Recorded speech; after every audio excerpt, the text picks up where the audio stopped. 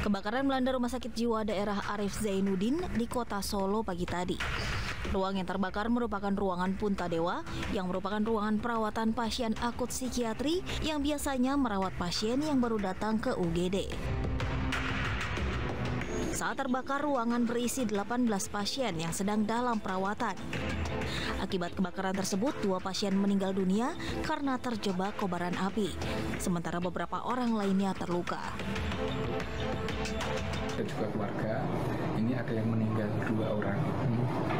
Eh, satu inisial JA, usia 30 tahun ini pasien eh, orang terlantar PGOT. Jadi Dari? dari Dinas Sosial Karanganyar. Jadi titipan Dinas Sosial Karanganyar. Dua, JR, usia 33 tahun. Ini berasal dari Saat ini kondisi di ruangan yang terbakar diberi garis polisi untuk diselidiki penyebab terjadinya kebakaran.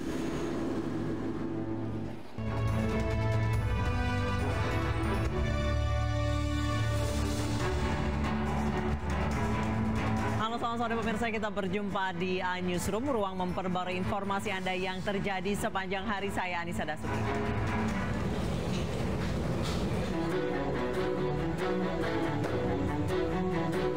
Seorang guru perempuan tewas terlindas truk di Jalan Pahlawan Revolusi Pondok Bambu, Jakarta Timur.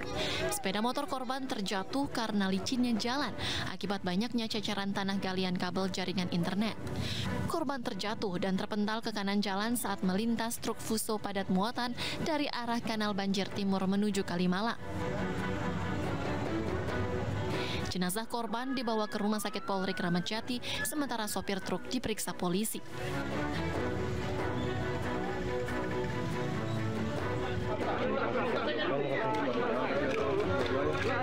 Seorang operator alat berat tewas tertimpa longsoran batu saat sedang mengeruk tebing di Desa Wakorumba, Kabupaten Muna, Sulawesi Tenggara.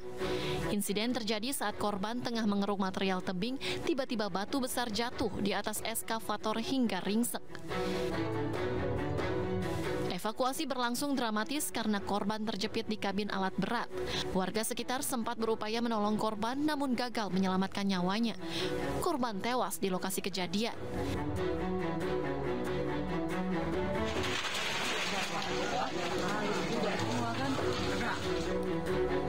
Sembilan rumah dan sebuah mobil habis terbakar di kota Sidikalang, Kabupaten Dairi, Sumatera Utara, Jumat dini hari. Untuk mencegah api merembet, dua rumah terpaksa dihancurkan dengan alat berat.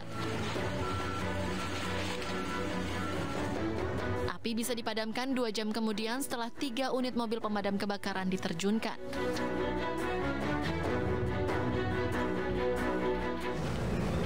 Dua puluh enam hari setelah kasus kematian Brigadir Joshua mencuat ke publik, mantan Kadif Propam Irjen Verdi Sambo akhirnya muncul ke publik. Permohonan dan ucapan duka terhadap Brigadir Joshua pun menuai sorotan.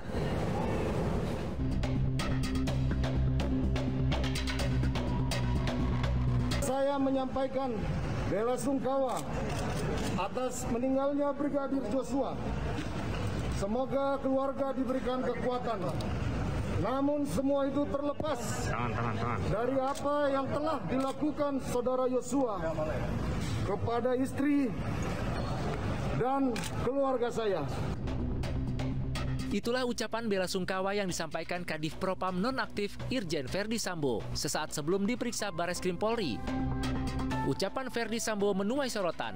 Publik mempertanyakan setelah hampir sebulan, kenapa baru sekarang ucapan duka dilontarkan. Namun bagi keluarga Brigadir Joshua, pintu ucapan bela sungkawa selalu terbuka bagi siapa pun. bagi ucapan Pak Ferdi Sambo oh, berbelasungkawa kami mengucap eh, kami keluarga kami pintu terbuka bagi siapa pun yang mengucapkan belasungkawa hingga saat ini sudah hampir sebulan anak kita meninggal dunia. Saat diperiksa oleh Bareskrim, Irjen Verdi Sambo diperiksa selama 7 jam. Pemeriksaan tersebut merupakan pemeriksaan Sambo yang keempat kalinya. Nama Irjen Verdi Sambo menjadi sorotan sejak baku Brigadir Joshua dengan Barada Eliezer terungkap ke publik. Setelah lebih dari tiga minggu dinanti, kemunculannya secara terbuka sangat dinanti publik. Sosok Sambo mendapat sorotan lantaran kasus ini baru terungkap dua hari setelah kejadian. Sederet prasangka buruk pun muncul sehingga Kapolri harus membentuk tim khusus dan mencopot Sambo dari posisi Kadif Propam agar penyelidikan berjalan transparan dan independen.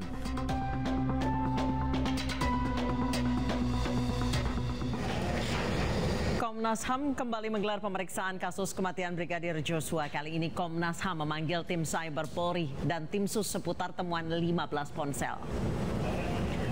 Komnas HAM hari ini mendalami temuan 15 ponsel yang berhasil dikumpulkan oleh tim cyber serta tim khusus Mabes Polri terkait kematian Brigadir Joshua.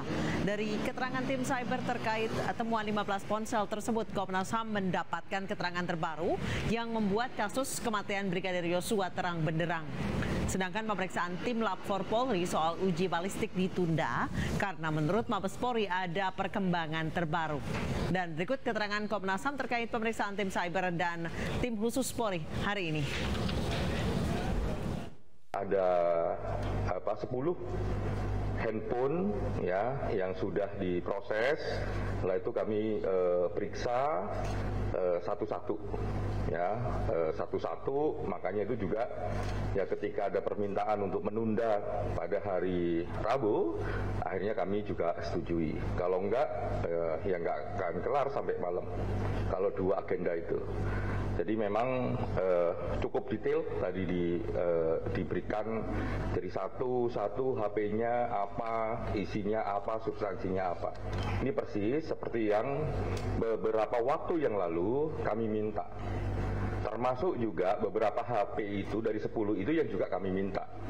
Jadi yang kemarin kami bilang kalau ada beberapa HP yang kami susulkan untuk untuk diminta e, keterangannya dan sebagainya. Nah tadi selama proses pagi sampai menjelang sore jam 3 tadi itu dijelaskan semua. Itu yang pertama.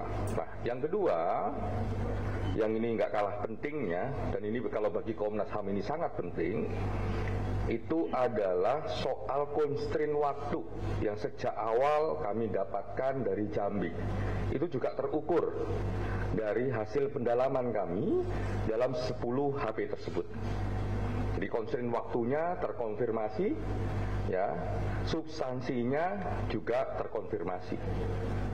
Jadi di samping agenda kami mendapatkan banyak keterangan, karena memang sejak awal keterangan ini berangkat dari apa yang kami miliki. Nah tadi selama proses dari pagi sampai sore itu bahan-bahan yang kami dapatkan dari Jambi itu terkonfirmasi satu soal waktunya, constraint waktunya, yang kedua adalah soal uh, substansinya. Nah ini yang membuat posisi kami melihat proses eh, apa penanganan kasus eh, Brigadir Joshua ini semakin lama semakin terang benderang.